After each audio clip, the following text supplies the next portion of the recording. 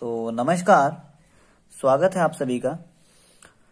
और एक टॉपिक जो कि लैग्रेंजियन मैकेनिक्स से ही रिलेटेड है तो वो टॉपिक क्या है कि वी हैव टू डिराइव और obtain the equation of motion of simple pendulum using Lagrangian तो जैसा कि आप सभी को पता है कि लेग्रेंजियन मैकेनिक्स हमने बहुत अच्छे तरीके से पढ़ लिया व्हाट इज़ लेग्रेंजियन तो लेग्रेंजियन किस किस जर्नलाइज्ड कोऑर्डिनेट्स पे डिपेंड करता है? जैसे कि position coordinate velocity coordinate and that of time coordinate and what is the Lagrangian equation तो यहाँ पर हमें क्या करना है कि सिंपल पेंडुलम का जो मोशन इक्वेशन ऑफ़ मोशन है, वो लेग्रेंजियन इक्वेशन से डिराइव करना है, ठीक है? तो जैसा कि एक सिंपल पेंडुलम का केस है, ठीक है? जिसमें क्या है कि थीटा जो है वो एंगुलर डिस्प्लेसमेंट है, ठीक है? और एक एल लेंथ का एक मान लीजिए स्ट्रेच वायर है, जिसके साथ एम मास का मतलब यहाँ पर एम मास का एक बॉब फिट है, और वो इस तरह से मूव कर रहा है, ठीक है? और सिलेक्ट कर रहा है। तो अब जो है, ये सी ए अगर सी ए लेंथ एल है तो यहाँ पर सी ओ जो लेंथ होगा, वो भी यहाँ पर एल ही होगा, ठीक है? क्योंकि ये मूवमेंट ऐसा करें, यहाँ से आ रहा है, फिर यहाँ से ओ पर आ रहा है, फिर यहाँ से इस तरह से जा रहा है, ठीक? और ये हमने एक, जहाँ ए ए और बी के बीच में एक लाइन ड्रॉ कर दिया परपेंडिकुलर लाइन ठीक है? अब देखिए हमको ऐसा, हम थोड़ा लिख सकते हैं इस टाइप से कि let theta be the theta be the angular displacement okay be the angular displacement and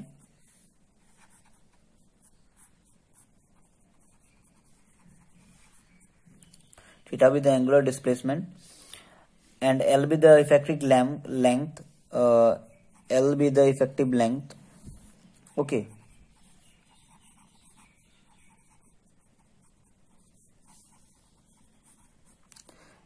and m be the mass of the bob and small m be the mass of the bob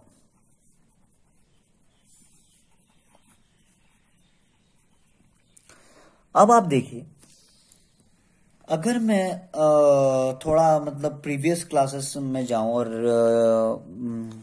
मतलब रिकेपचुलेट करूँ तो ये जो S है, ये क्या है displacement distance क्योंकि यही डिस्टेंस ये मूव कर रहे हैं। तो अब ये एस क्या है? अगर इस फिगर को हम कंसिडर करें तो ये एक आर्क है, ठीक है? तो हमको पता है कि angle is equal to arc upon radius ये एक फॉर्मूला बहुत बचपन से हमको पता है। तो यहाँ पर जो रेडियस जो है, अगर हमें इस सर्कल की, अगर इसको मैं एक सर्कल मान लेता हूँ रेडियस मेरा क्या है? ये एल रेडियस है। तो एंगल मेरा क्या है? थीटा। तो theta is equal to arc is what S by radius is what L ठीक है? तो एस क्या है? मेरा डिस्प्लेसमेंट भी है। तो एस का वैल्यू मेरा क्या आ जाएगा? L theta. ओके? अब देखिए क्योंकि मुझे लेग्रेंजियन इक्वेशन यूज़ करके सिंपल पेंडुलम का मोशन ऑफ़ इक्वेशन ड्राइव करना है तो मुझे लेग्रेंजियन इक्वेशन पता होना चाहिए। तो हम लोग, हम लोगों ने लेग्रेंजियन इक्वेशन को डिराइव भी कर दिया। अगर आपने वो वीडियो देखा नहीं तो आप देख सकते हैं जाके। फिर भी मैं यहाँ लेग्रेंजियन इक्वेशन एक बार लिख लेता हूँ। वो क्या होता है? D upon D T of del L upon del Q K dot that is velocity coordinate okay minus del L by del Q K is equal to zero तो ये जो है ये लेग्रेंजियन इक्वेशन है। तो इस इक्वेशन में हमारे पास सबसे कॉम्प्लिकेटेड टर्म क्या है? एल हमको लेग्रेंजियन सबसे पहले एल निकालना पड़ेगा। So what is L L is T minus V जो हमको पता है। तो टी क्या है? Kinetic energy V is what potential energy T तो kinetic energy V is what potential energy अब आप देखिए। मुझे सपोज़ अभी टी निकालना है काइनेटिक एनर्जी निकालना है तो काइनेटिक एनर्जी इन जनरल हमको पता होता है half of M V square where V is what this V is velocity and this V is potential energy don't get confuse okay now T is what half of M V square now what we have to do we have to find this velocity. So, how we have to how we will calculate the velocity? Because there is displacement, okay? We have calculated the displacement so we know that we know that velocity is equal to rate of change of displacement with time isn't it So if velocity is ds upon dt, then what we will do? What is the velocity? Velocity equal to d and what is the displacement? It is L theta upon dt. Okay. And L is constant, so, so it will come out from the differentiation. So L d theta by dt. Okay. और D theta by DT को मैं क्या लिख सकता हूँ? L theta dot D theta upon D को मैं क्या लिख सकता हूँ? थीटा डॉट तो जो वेलोसिटी मेरा आ गया वो एल थीटा डॉट तो यहाँ से अब मैं इसको पुट कर देता हूँ तो it is half of M V V के जगह पर मैं क्या करूँगा? एल थीटा डॉट और ये जो वैल्यू आ जाएगा ये क्या आ जाएगा? M L square theta dot square ठीक है? तो अब मेरा जो काम हो गया, आधा काम मेरा हो गया, मैंने टी निकाल लिया। अब मुझे क्या निकालना है? V what is V it is potential energy to you know that V is in general M G H सबको पता होता है?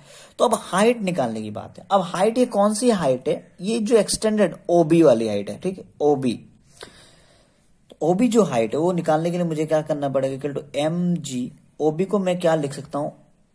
ओ सी माइनस सी बी मैं लिख सकता हूँ ओ सी माइनस सी बी क्योंकि ये जो हाइट है, ये क्या है? M G O B okay तो O C minus C B अब देखिए O C is what O C is what it is L O C जो मेरा, वो एल है। तो ये तो एम जी यहाँ पर आ जाएगा एल और सीबी क्या है? अगर मैं इस ट्राइंगल को कंसिडर करूँ तो ये राइट एंगल ट्राइंगल यहाँ पर इसका राइट एंगल एक बनता है, ठीक है? और ये थीटा है तो ये परपेंडिकुलर हो जाएगा, और ये मेरा क्या हो जाएगा? बेस तो base by hypotenuse equal to cos theta तो मेरा क्या हो जाएगा? Base equal to hypotenuse cos theta तो ये क्या हो जाएगा? एल कॉस थीटा तो मेरे पास जो वैल्यू आ रहा है वी का, वो क्या आ जा रहा है? M G M G L अगर मैं कॉमन ले लेता हूँ तो it is one minus cos theta ठीक है? तो अब मेरे पास काइनेटिक एनर्जी आ गया मेरे पास पोटेंशियल एनर्जी आ गया तो मैं सीधा इधर एल निकाल सकता हूँ।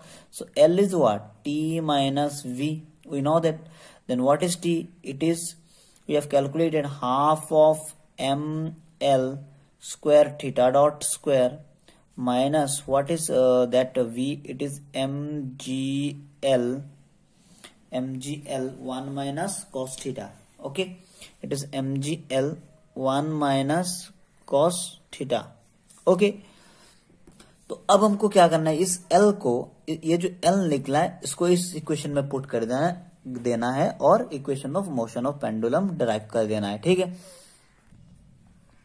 तो अब जो हमारे पास L का जो वैल्यू आया है, वो इस टाइप का है half M L square theta dot minus M G L one minus cos theta तो अब मुझे क्या करना है? इसको लेग्रेंजियन इक्वेशन में पुट करना है। तो ध्यान रखिएगा एक चीज़। लेग्रेंजियन इक्वेशन मेरा क्या है? D upon D T of del L upon मैं del Q K dot minus del L by del Q K is equal to zero अब देखिए यहाँ पर क्यू के डॉट क्यू के क्या है? मेरा जनरलाइज्ड कोऑर्डिनेट है ठीक? सो so, यहाँ पर मेरा कौन सा कोऑर्डिनेट जनरलाइज्ड है? वो है क्या? थीटा इजेंट इट सो मेरा थीटा जो है वो जनरलाइज कोऑर्डिनेट है। तो मैं del L upon del Q K dot को मैं क्या लिख सकता हूँ? मैं इसका लिख सकता हूँ del L upon del theta dot ठीक है? तो इसको अगर मैं, अब इस इक्वेशन को मैं अगर थीटा डॉट के रेस्पेक्ट में पार्शियल डेरिवेटिव करता हूँ तो ये क्या आ जाएगा? Del upon del theta dot of complete this equation तो इस इक्वेशन में देखिए, सिर्फ़ इसी टर्म पे मेरा क्या है? थीटा डॉट बाकी इस टर्म में मेरा थीटा डॉट कहीं है नहीं तो वो पार्शियल डिफरेंशिएशन बाहर निकल जाएगा। तो मैं सिर्फ़ इसी टर्म को मैं डिफरेंशिएट करूँगा तो इस टर्म को अगर मैं डिफरेंशिएट करता हूँ तो मेरे मेरे मेरे, मेरे पास क्या आ रहा है? Half of M L square theta dot square minus M G L one minus cos theta okay अब डिफरेंशिएट अगर मैं करता हूँ तो क्या हाफ़ एम एल स्क्वायर तो कांस्टेंट है बाहर निकल जाएगा तो del upon del theta dot का वैल्यू क्या है? टू थीटा डॉट तो इसका जो वैल्यू आ रहा है वो क्या आ रहा है? M L square theta dot means del L upon del theta dot is M L square theta dot okay and अगर मैं ये कोऑर्डिनेट देखूँ del L upon del Q K तो उसका जो वैल्यू हो जाएगा, वो क्या आ जाएगा? Del L upon del theta अब इसी सेम इक्वेशन को मैं अगर थीटा के रेस्पेक्ट में डिफरेंशिएट करता हूँ तो वो क्या आ रहा है? वो आ रहा है मेरा, इस टर्म में, इस टर्म का तो ज़ीरो हो जाएगा, क्योंकि इसमें कोई, कहीं पर थीटा डॉट सॉरी थीटा है नहीं। इसको डिफरेंशिएट करना है तो ये M G L minus M G L cos है that is minus M G L sine theta okay so इसका जो वैल्यू आ जाएगा वो आ जाएगा minus M G L sine theta ठीक है? अब मुझे इस इक्वेशन में इन, इन इसको मैं मान लेता हूँ ए इसको मैं मान लेता हूँ बी इसको मैं मान लेता हूँ टू इसको मैं मान लेता हूँ वन अब ए बी को मुझे इक्वेशन नंबर टू में पुट करना है तो मैं पुट कर देता हूँ D upon D T of del L upon del theta dot is M L square theta dot minus and that is again minus ये फॉर्मूले वाला, और यहाँ पर एक है minus M G L cos theta तो ये हो जाएगा plus M G L sine theta is equal to zero okay अब यहाँ पर देखिए, इस टर्म को डिफरेंशिएट करना पड़ेगा। तो एम एल स्क्वायर हमारा कांस्टेंट होता है, और मैं अगर थीटा डॉट को टी के रिस्पेक्ट में डिफ्रेंशिएट करूँ तो ये क्या हो जाएगा? Theta double dot plus M G L sine theta equal to zero. अब मैं कह सकता हूँ कि अगर मान लेता हूँ मैं कि थीटा बहुत स्मॉल है, ठीक है तो sine theta is approximately equal to theta तो इस साइन थीटा को मैं थीटा लिख सकता हूँ। तो यहाँ से मैं लिख सकता हूँ M L square theta double dot plus M G L theta equal to zero. Okay? अब देखिए इन, यहाँ से इन दोनों से एम एल जो है वो कांस्टेंट है, ठीक है? मतलब कॉमन है। तो उसको मैं उस साइड में भेज देता हूँ। तो मेरे पास यहाँ क्या बचता है? Sorry L theta double dot L theta double dot plus यहाँ से एम एल मैंने उस राइट हैंड साइड में ट्रांसफ़र कर दिया। मेरे पास क्या बच रहा है? G theta is equal to zero ठीक है? और यहाँ से अगर मैं थोड़ा बहुत और लिख लू theta double dot plus G by L theta is equal to zero ठीक है? तो ये जो इक्वेशन है ये क्या है? This equation is what equation of simple pendulum okay equation of simple pendulum तो यहाँ पर जो ये मेरा सॉरी हम्म, मेरा जो अगर मुझे टाइम पीरियड निकालना है तो टाइम पीरियड इक्वल टू क्या होता है? T equal to two pi under root L by G ठीक है? तो ये देखिए टाइम पीरियड में मेरा करेक्ट आ रहा है ठीक है? तो theta double dot plus G by L theta equal to zero ठीक है? तो ये जो इक्वेशन है, ये equation of simple pendulum using Lagrangian ठीक है? तो आज के लिए बस इतना ही। आगे हम कंपाउंड पेंडुलम के भी देखेंगे और एटवुड मशीन वगैरह जो कुछ भी है यूजिंग लेग्रेंजियन सारा कुछ ड्राइव करेंगे, ठीक है? तो आज के लिए बस इतना ही। Thank you